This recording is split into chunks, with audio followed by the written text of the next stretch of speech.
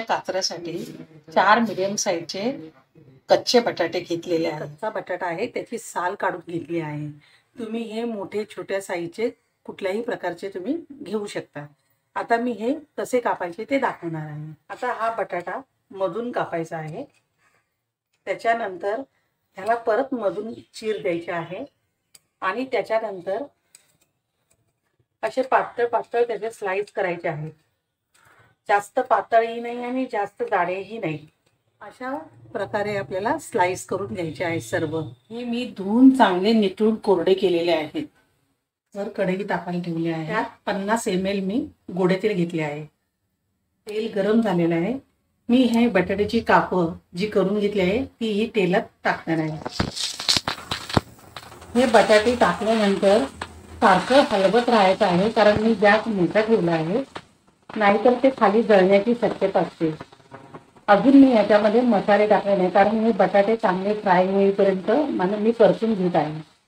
मोठ्या गॅसवर हे परतून घेतलेले आहेत. हे बघा थोडासा ब्राऊन कलर पण आला आहे आणि बटाटे पण थोडे शिजले आहेत. आता गॅस मी स्लो करत आहे. मी आता मसाले टाकत आहे.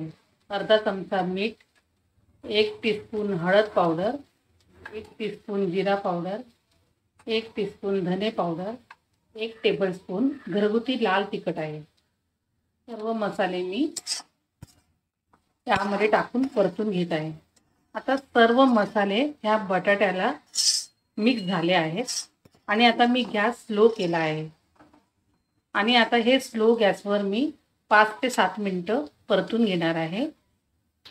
हे बटाट्याच्या काकऱ्या तयार झाल्या आहेत. मी स्लो गॅसवर पाच मिनटं शिजवलं आहे आणि बटाटाही शिजला का बघूया. हे बघा पटकन तुटला जाते बटाटाही शिजला गेला आहे. मी ह्याला एकही थेंब मी पाणी टाकलेलं नाही आहे पूर्ण तेलामध्ये मी हा बटाटा शिजवलेला आहे. चाट मसाला टाकत आहे. हे तुम्ही तुमच्या आवडीनुसार मसाले कमी जास्त करू शकता. आणि ही भाजी तुम्ही वरण भात कढी भात चपाती भाकरी कशाबरोबरही खाऊ शकता.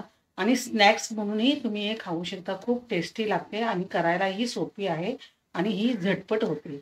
जास्त वेळ लागत नाही पाच ते सात मिनिटामध्ये ही भाजी होते आणि हे मोठ्या गॅसवर पटकन करता येते.